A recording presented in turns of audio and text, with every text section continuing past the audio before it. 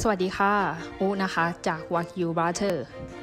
วันนี้มีคนติดตามจากทางเว็บ Wagyu Butter ของเราเข้ามาเป็นจำนวนมากนะคะ สอบถามข้อมูลเข้ามาเกี่ยวกับรายละเอียดเนื้อวากิว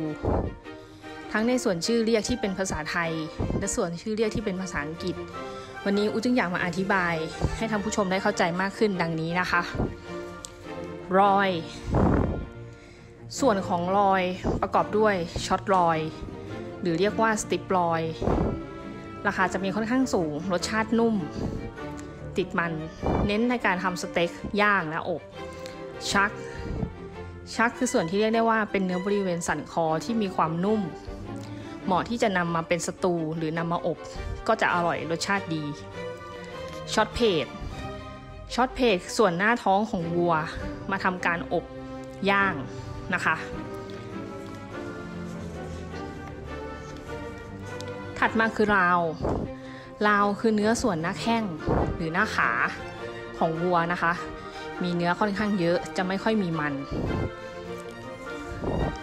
สำหรับ part ต่อไป จะเป็นส่วนประกอบของแต่ละส่วนของเนื้อนะคะ เช่น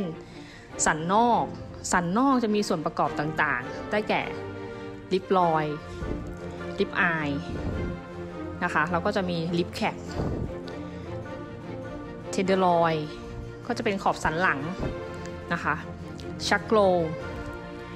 chuck eye chuck flap shoulder clodจะมี top blade